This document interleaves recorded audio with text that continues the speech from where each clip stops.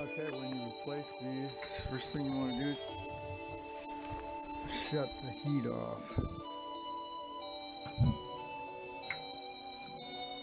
And turn the gas off here. Disconnect this, this, this. Grab a garden hose, stick it on here, outside, then drain the tank.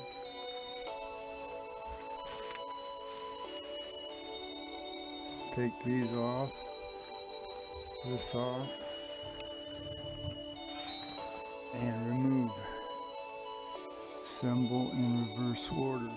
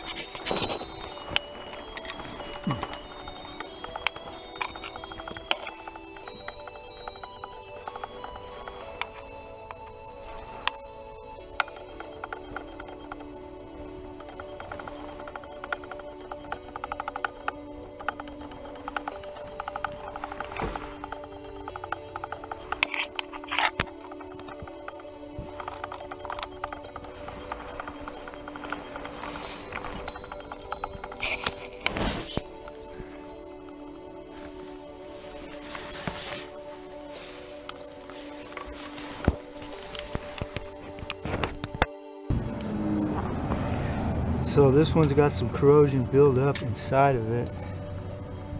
You see this stuff, that just came out of it, all that dark water.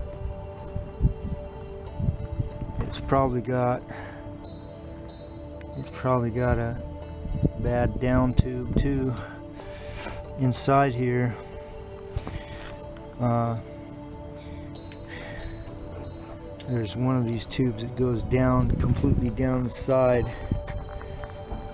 tube can rust out. And when it rusts out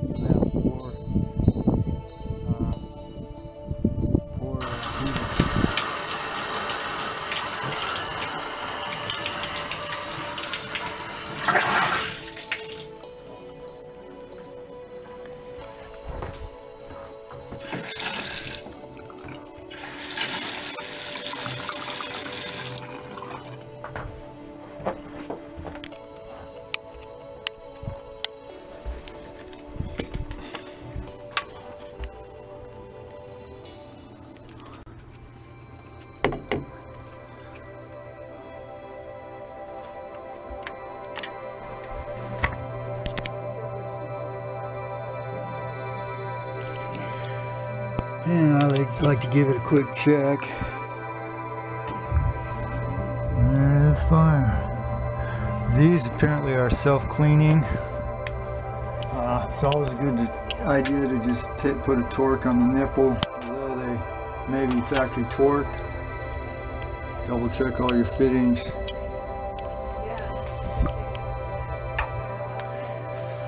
And then we're gonna have to install, we're gonna have to cut the vent because the vent is a little bit shorter because the other one was a little bit taller. I managed to salvage these um, with no major kinks and so we're good there. And we install the clamps back and we're ready for hot water.